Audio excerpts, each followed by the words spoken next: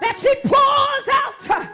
She pours out something that you were created to do. She pours out something that confuses the devil. She poured out something that sets ambushments.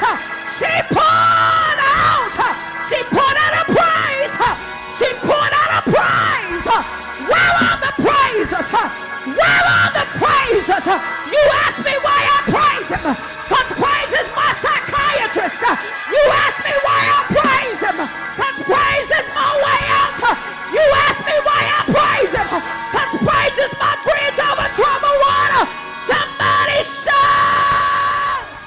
Coming to Ebenezer, the dynamic ministry of the powerful, prolific prophetess Barbara Calloway of Fort Worth, Texas.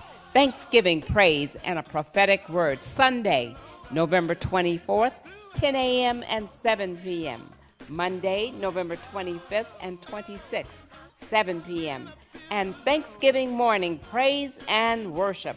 Come experience the outpouring of the Holy Spirit and expecting the supernatural at the wealthy place